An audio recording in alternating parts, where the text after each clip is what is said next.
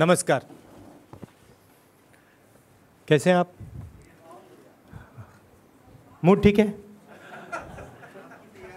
हाँ। मेरा तो ठीक रहता है। आप खुल के लिख रहे हैं आजकल या थोड़ा मतलब दबाव है, प्रेशर है थोड़ा सा? हाँ थोड़ा सा? तो जनरल मूड है ना देश में। लोग थोड़ा घबरा के बोलते हैं आजकल। और प्रेस वालों को भी ये लगता है, थोड़ा झिझक के काम करते हैं। बट हमारी तो पूरी सपोर्ट है आपको।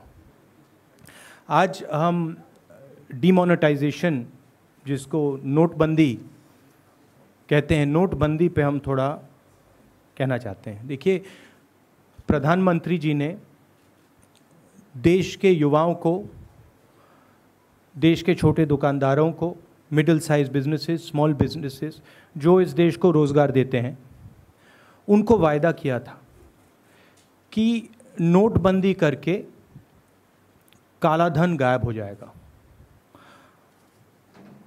नकली नोट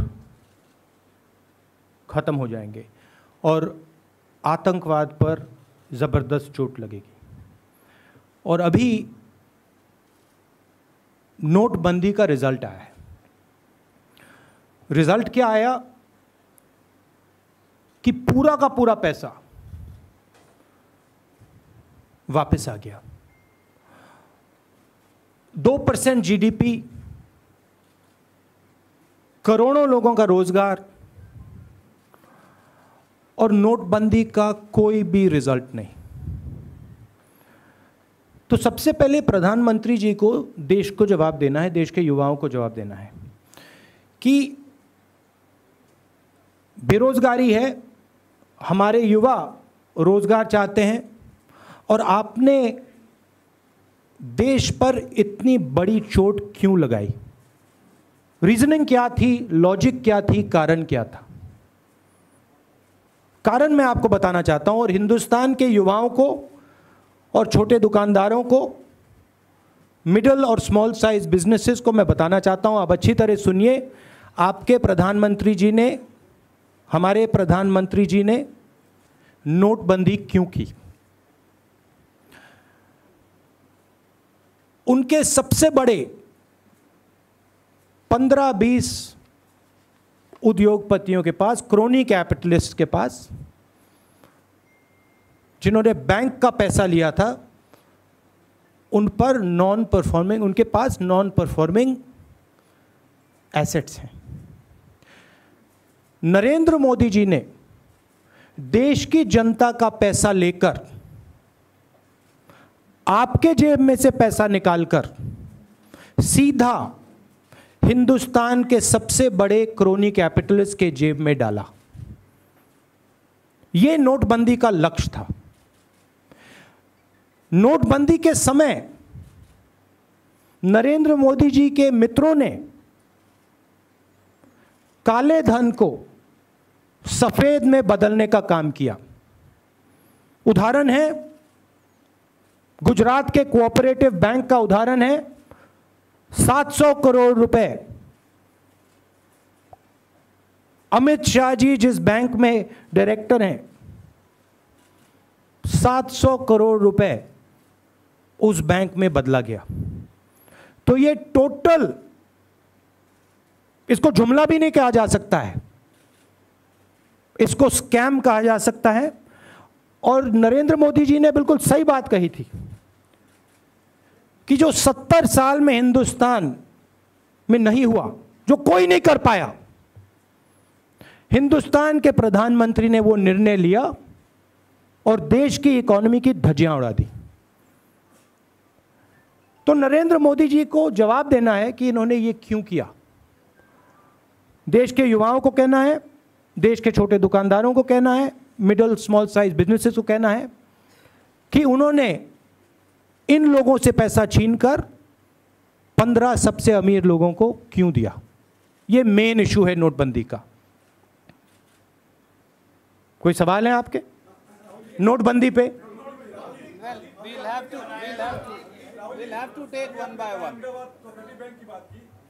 अहमदाबाद कोऑपरेटिव बैंक आपके ऊपर आपके बगल में बैठे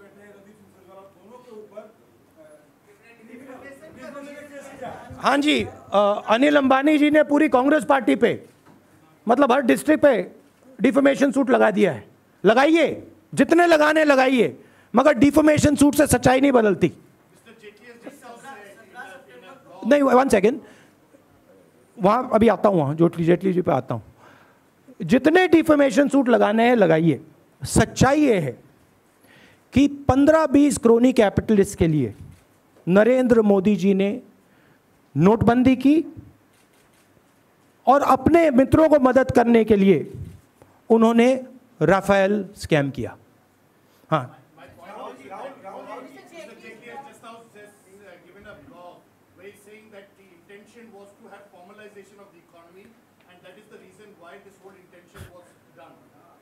You will you will find out soon enough what the intention was you will it will come to your notice the intention was very clear and let every indian person understand this the intention was to help the richest people the most corrupt people in this land change their money from black to white that was the intention फिर से दोहराता हूं नोटबंदी का intention Hindustan के 15-20 सबसे बड़े crony capitalists को अपने काले धन को सफ़ेद बदलने में मदद, ये था नोटबंदी। और जो हमारे छोटे बिजनेसेस हैं, मिडिल साइज़ बिजनेसेस हैं, उनको खत्म करके, जो छोटे दुकानदार हैं, उनको खत्म करके बड़ी कंपनियों का मदद करने का लक्ष्य है। छोटे दुकानदार, मिडिल साइज़ बिजनेसेस और स्मॉल साइज़ बिजनेसेस आप लोग जो चलाते हो, आप अच्छी तरह सुनो। नोटबंदी कोई गलती नहीं थी। नोटबंदी आपके ऊपर आक्रमण था। नोटबंदी आपके पैर पर कुल्हाड़ी मारी गई थी। गलत फहमी में मत आइए। यह गलती नहीं थी। यह जानबूझ के आपको नष्ट करने के लिए आपको खत्म करने के लिए और सबसे बड़े अमेजोन जैसे बिज़नेस के लिए रास्ता खोलने का तरीका है.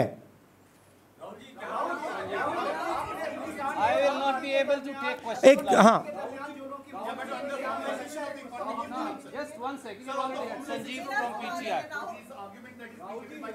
Uh, Sunil, you have asked. Please give somebody else a chance. Rahul, There are reports that huge sums of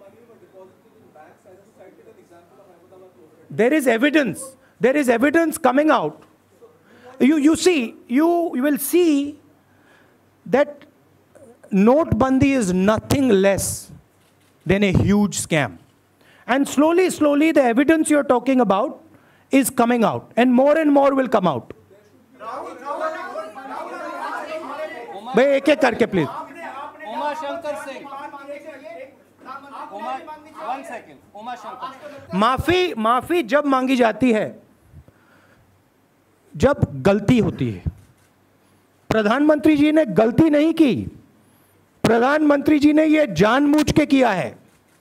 प्रधानमंत्री जी का लक्ष्य था कि हिंदुस्तान के सबसे बड़े क्रोनी कैपिटलिस्ट, जिन्होंने प्रधानमंत्री जी को मार्केटिंग के पैसे दिलवाए, जिनके कारण टेलीविज़न पे हर रोज नरेंद्र मोदी जी का चेहरा दिखाई देता है कि उनको पैसा मिले। और पैसा कैसे मिले? हिंदुस्तान के किसान, हिंदुस्तान के महिला, हिंदुस्तान के छोटे दुकानदार, हिंदुस्तान के middle size business small size businesses के जेब में से पैसा निकाल के सीधा उनके 15-20 क्रोनी कैपिटलिस्ट मित्रों को मिले। सिस्टम है क्रोनी कैपिटलिस्ट नरेंद्र मोदी जी की मार्केटिंग करते हैं। नरेंद्र मोदी जी जनता से पैसा छीनकर क्रोनी कैपिटलिस्ट को देते हैं। बड़ा सिंपल है।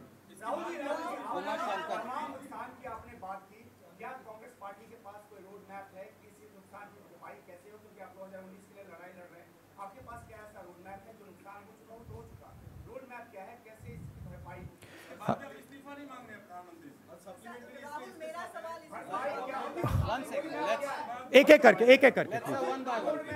कांग्रेस पार्टी कांग्रेस पार्टी के पास, कांग्रेस पार्टी ने देश को चला कर दिखाया है। हमारे मनमोहन सिंह जी जब प्रधानमंत्री थे, आप हमारा रिकॉर्ड देख लीजिए। अरुण जेटली जी और नरेंद्र मोदी जी ने हिंदुस्तान की इकोनॉमी को नष्ट कर दिया है। हमारे समय ढाई लाख करोड़ रुपया नॉन परफॉर्मिंग एसेट था कंट्रोलेबल था। आज 12 लाख करोड़ रुपया नॉन परफॉर्मिंग एसेट है। क्यों? क्योंकि नरेंद्र मोदी जी ने अपने मित्रों की रक्षा की है। वन पॉइंट प्रोग्राम है। पहले ट्वेंटी पॉइंट प्रोग्राम हुआ करता था, अब वन पॉइंट प्रोग्राम है। हिंदुस्तान के क्रोनी कैपिटलिस्ट को कैसे मदद की जाए विक्रांत सिंह from आज तक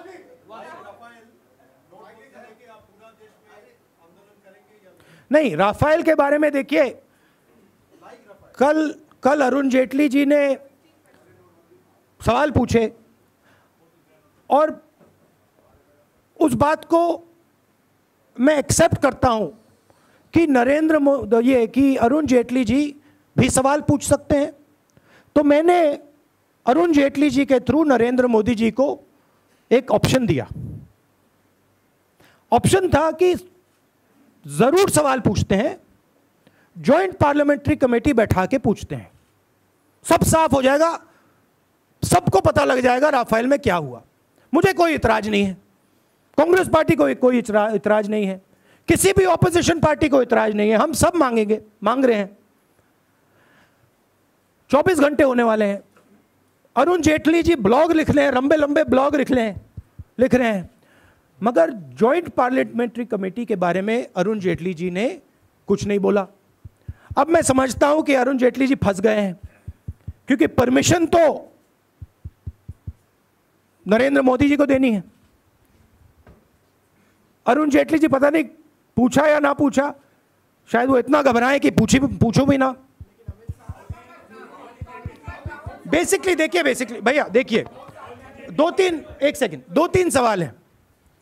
राफेल बड़ा क्लियर कट केस है। अनिल अंबानी जी ने हवाई जहाज़ कभी नहीं बनाया।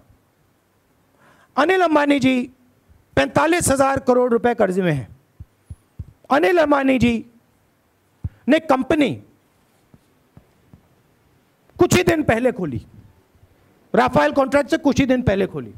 दूसरी तरफ़ एच सत्तर साल से हवाई जहाज़ बना रही है। कोई कर्जा नहीं है। हज़ारों इंजीनियर हैं जो काम करना चाहते हैं। छोटा सा सवाल है।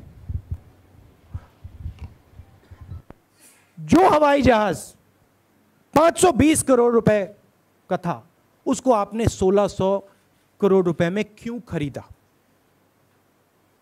किसको फ़ायदा पहुँचाने के लिए खरीदा? अब अरुण जेटली जी उल्टा मुझसे सवाल पूछ रहे, पूछ सकते हैं, मगर इन तीन सवालों के जवाब तो दीजिए, क्लियर कट है। और जेपीसी लाइए। पूरा देश जानना चाहता है कि अनिल अंबानी जी ने और मोदी जी ने क्या डील की है?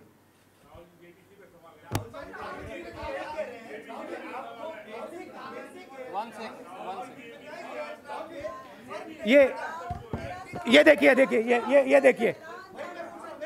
ये देखिए ये देखिए, सुनिए।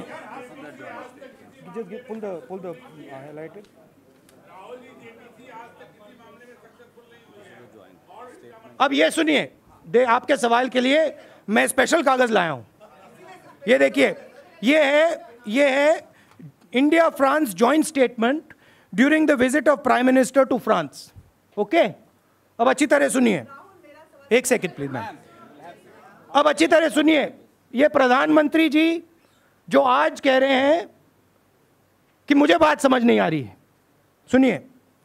And that the aircraft government of india conveyed to the government of france that in view of the critical operation necessity for multi-role combat aircraft for indian air force government of india would like to acquire 36 rafale jets in flyaway condition as quickly as possible by the way abhi tak nahi aaye the two leaders agreed to conclude an intergovernmental agreement for supply of the aircraft on terms that would be better than conveyed by Dassault Aviation as part of a separate process underway The delivery would be in time frame that would be compatible with the operational requirements of the IAF.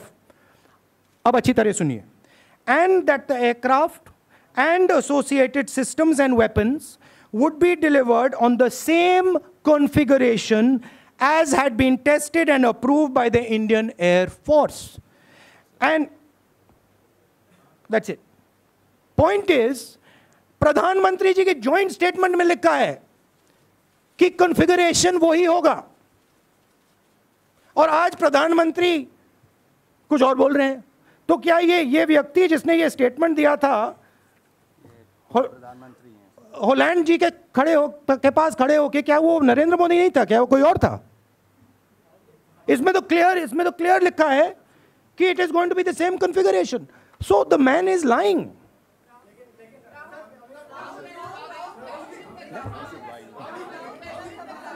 okay आप आप बिल्कुल चुप हो गए आप बिल्कुल चुप हो गए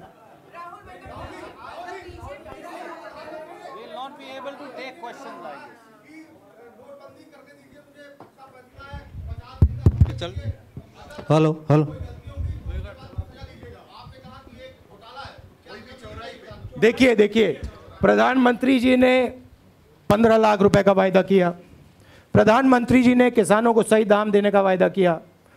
प्रधानमंत्री जी ने बुलेट ट्रेन का मतलब उनके तो वायदे की लिस्ट है। तो जो प्रधानमंत्री कहते हैं, उसको हम सीरियसली नहीं लेते हैं। मगर जब प्रधानमंत्री झूठ बोलते हैं, हम उनके झूठ को पकड़ते हैं। प्रधानमंत्री जी ने राफेल में अनिल अंबानी की मदद करने की कोशिश की। बीजेपी के प्रेसिडेंट के कोऑपरेटिव बैंक में 700 करोड़ रुपए नोटबंदी का बदला गया। बीजेपी ने नोटबंदी से पहले अलग अलग डिस्ट्रिक्ट्स में ऑफ़िस खरीदे। तो ये हमारा काम पब्लिक को सच्चाई बताने का है। प्रधानमंत्री जी ने स्वयं कहा कि एयरक्राफ्ट अलग है। और मैंने आपको दिखाया प्रधानमंत्री का स्टेटमेंट देख लीजिए उसमें क्लियरली बोल रहे हैं कि aircraft is the same defence minister एक दिन बोलती है कि हम एयरक्राफ्ट का दाम बताएँगे। दूसरे दिन बोलती है कि हम एयरक्राफ्ट का दाम नहीं बताएँगे। और फिर पता लगता है कि एयरक्राफ्ट का दाम तीन गुना बढ़ गया। तो हमारा सिंपल सवाल है और युवाओं का सवाल है, किसानों का सवाल है, आपने नरेंद्र मोदी जी ने युवाओं को, किसानों को, महिलाओं को चोट मारी? क्यों मारी? कालाधन नहीं कम हुआ, आतंकवाद कम नहीं हुआ, असली नोट गायब नहीं हुए, कोई ना कोई रीजन तो होगा। और मैं आपको रीजन बता रहा हूँ। रीजन था कि क्रोनी कैपिटलिस्ट के जेब में पैसा डालना। Thank you very much